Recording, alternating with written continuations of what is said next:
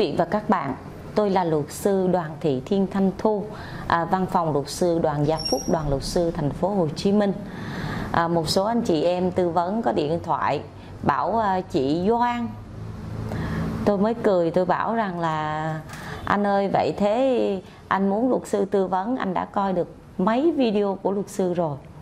Nói như vậy để chúng ta biết được rằng nếu chúng ta muốn cần muốn nhờ một người nào đó thì chúng ta phải thận trọng khi bóc điện thoại. Alo các bạn nhé. Hôm nay tôi sẽ hướng dẫn cho quý vị và các bạn trong chương trình dân ta phải biết luật ta à, thế nào là một cái bản án. Trên tay tôi đó là hai cái bản án hành chính quý vị và các bạn ạ. À. hai cái bản án hành chính. Thì à, tôi à, cho quý vị và các bạn biết ba cái nội dung cơ bản của một cái bản án hành chính. Vì sao tôi à, lại nói vấn đề này? Vì à, tôi thấy người dân mình kiến thức còn hạn chế quá. Một số anh chị em nghe tòa tuyên án cuối cùng chẳng biết gì cả. Thì à, quý vị và các bạn đọc gì khi chúng ta à, cầm một cái bản án trên tay? Thì à, tôi à, sẽ à, chia cái à, phân tích của mình làm 3 phần. Phần thứ nhất à, chúng ta nói về cái phần tố tụng à, trong phần này thì bản án sẽ giới thiệu à, về toàn bộ các thành phần của à, cái quan hệ tranh chấp những cái thông tin của người à, đi kiện người bị kiện người liên quan. Phần thứ hai đó là cái à, nhận thấy xét thấy. Và phần thứ ba là phần quyết định. Tôi à, chỉ phân tích với quý vị và các bạn để cho các bạn được hiểu chứ không có ờ, phân tích theo ờ, mặt của các anh chị em bên tòa. Cho nên nếu anh chị em bên tòa nào ờ, xem những cái video này, thì mong muốn của chương trình dân ta phải biết được ta là để cho tất cả mọi người được hiểu cái quy định của pháp luật thì chúng ta biết rồi trong một cái bản án khi tòa đứng lên thì à, tòa đọc cái quyết định đưa vụ án ra xét xử à, và sau đó kiểm tra về thông tin của nguyên đơn bị đơn à, và những cái người à, giới thiệu thành phần của hội đồng xét xử. Thì à, trong cái phần này thì chúng ta có ở trên cùng các bạn ha ở trên cùng ở phía bên phía bên tay tay trái à, chúng ta sẽ được xem ví dụ như tòa án nhân dân tỉnh nào đó tòa án nhân dân tỉnh Long An tòa án nhân dân tỉnh Cần Thơ tòa án nhân dân thành phố Hồ Chí Minh. À, còn nếu như trong trường hợp chi tiết nữa thì chúng ta sẽ nói rằng là tòa án nhân dân của à, huyện à, à, Xuyên Mộc tòa án nhân dân của huyện Củ Chi chẳng hạn các bạn ha. À, các bạn tạm thời à, ừ, xem những cái nội dung thì ờ, chúng ta biết rồi khi trong trường hợp chúng ta đi cái vụ kiện thì chúng ta biết rằng chúng ta là người bị kiện hay chúng ta là người khởi kiện hay chúng ta là người có quyền và nghĩa vụ liên quan. À, trong cái phần này thì à, à, bản án sẽ ghi nhận là thẩm phán chủ tọa phiên tòa ông A ông B gì đó hội thẩm rồi thư ký rồi à, viện kiểm sát.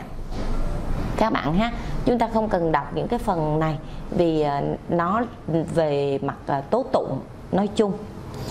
Thì à, đến cái phần thứ hai, đó là cái phần nhận thấy. Nhận thấy đó là cái nội dung mà phía ở các bên trình bày. Có một số anh chị em trong cái khi mà người ta trình bày á, thì lại nhảy vô bảo rằng người ta trình bày không đúng. Không phải ạ. à tôi có quyền trình bày và tòa ghi nhận đơn giản thôi các bạn ạ à.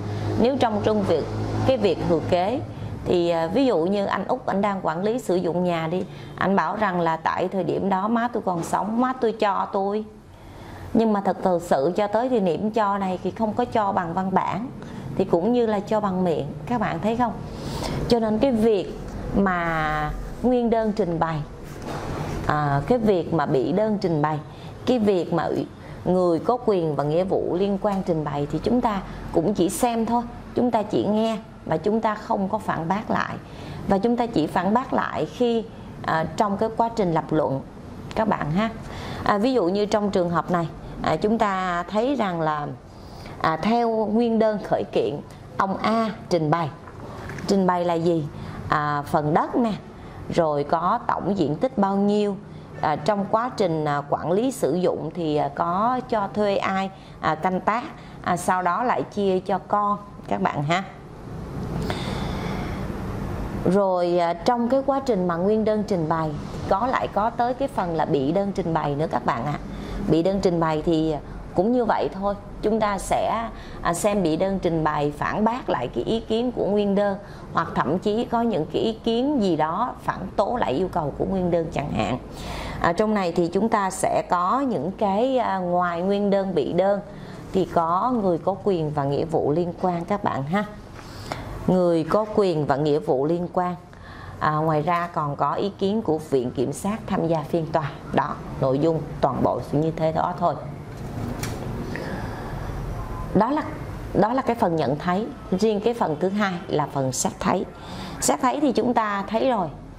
Tòa án sau khi đưa cái ý kiến của nguyên đơn ra thì bị đơn và người có quyền và nghĩa vụ liên quan, tòa án đưa ra những cái nhận định của mình.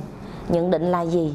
Theo cái quan điểm của tòa thì nguyên đơn trình bày là như thế này theo ờ, nhận định của tòa việc ờ, ủy ban nhân dân cung cấp đã có một cái ờ, công văn số mấy trình bày là như vậy.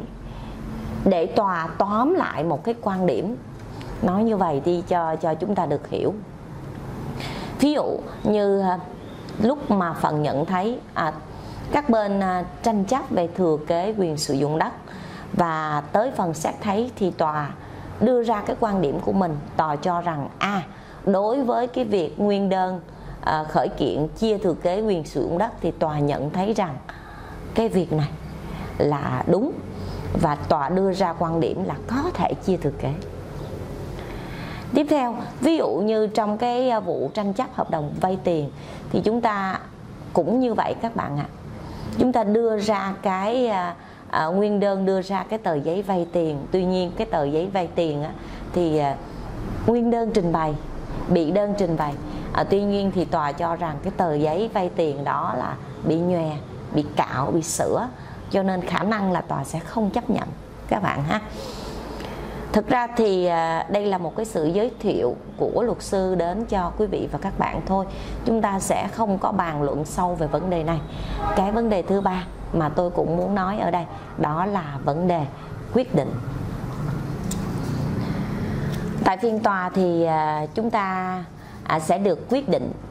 Thì à, chúng ta, tôi, trước đây tôi cũng có làm một cái video là nghe tòa tuyên những gì. Thì hôm nay tôi sẽ lặp lại cái vấn đề này đi vấn đề cơ bản thôi. Quyết định tòa áp dụng khoảng 1 điều 2 khoảng 6 điều 10 gì đó của bộ luật tố tụng dân sự à, của bộ luật tố tụng hình sự của bộ luật dân sự gì đó. Bác yêu cầu khởi kiện của nguyên đơn chấp nhận yêu cầu khởi kiện của nguyên đơn hoặc trong một cái chừng mực nào đó các bạn ạ. À cái điều này rất là quan trọng. Nếu quý vị và các bạn mà tinh ý một tí xíu thì chúng ta sẽ thấy rằng là a à, tòa áp dụng những cái quy định về pháp luật về chia thừa kế à, tòa áp dụng cái à, quy định để chia tài sản à, chung trong thời kỳ hôn nhân của vợ chồng. Các bạn ha để chúng ta hiểu thêm những cái quy định của pháp luật. Vậy thì à, à trong những cái phần nội dung cơ bản của một cái bản án um, hành chính bản án dân sự thì chúng ta sẽ biết những cái nội dung cơ bản và chúng ta à, hiểu thêm những cái quy định của pháp luật để từ đó chúng ta tự mình bảo vệ mình các bạn ha.